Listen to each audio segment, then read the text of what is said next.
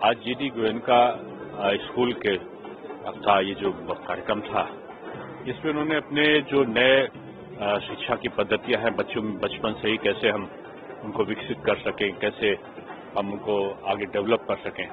जितने प्रावधान हमने न्यू एजुकेशन पॉलिसी में दी हैं, उसका उन्होंने अच्छा उल्लेख किया है यहाँ पर, और उन्होंने उसको एडॉप्ट किया है।